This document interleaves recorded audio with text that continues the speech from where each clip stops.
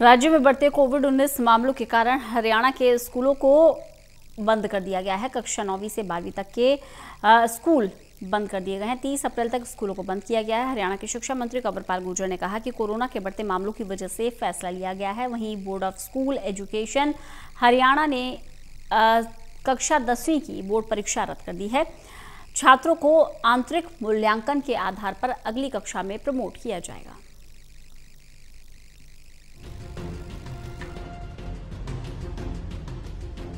Corona मामलों में अचानक आई बढ़ोतरी को देखते हुए हरियाणा के मुख्यमंत्री मनोहर लाल ने पहली से आठवीं कक्षा तक के छात्रों के लिए 30 अप्रैल तक हरियाणा के स्कूलों को बंद करने का आदेश दिया था। लेकिन उसके बाद भी प्रदेश में कोरोना के मामलों में कोई कमी नहीं आई।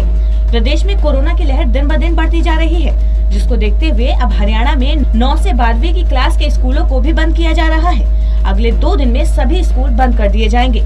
इसके लिए नोटिफिकेशन भी जारी कर दी जाएगी। सोमवार से नौवीं से बारहवीं तक के सभी स्कूल 30 अप्रैल तक के लिए बंद हो जाएँगे।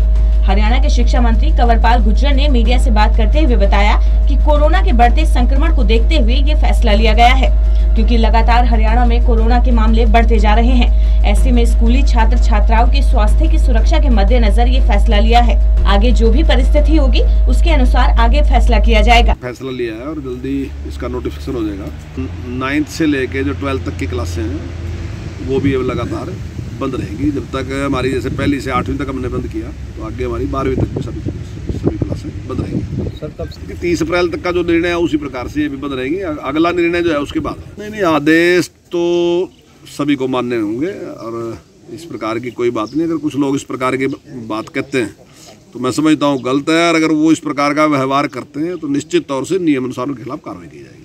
हाँ बिल्कुल बिल्कुल। बच्चों के स्वास्थ्य को देख के ही इस प्रकार का निर्णय लिया और जिस प्रकार से कोरोना जिस गति से बढ़ रहा, मैं समझता हूँ, उससे समाज में भी चिंता है और अभिभावकों में भी चिंता है। वही इस दौरान शिक्षा मंत्री ने सभी से ये अपील की है कि कोरोना से बचने के जो भी नियम हैं, उनका पालन करें।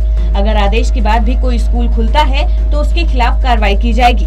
वहीं सरकार के इस फैसले के बाद अब पहली से बारहवीं तक के सभी स्कूल तीस अप्रैल तक के लिए बंद हो गए हैं। यमुनानगर से राहुल सहजवानी की रिपोर्ट।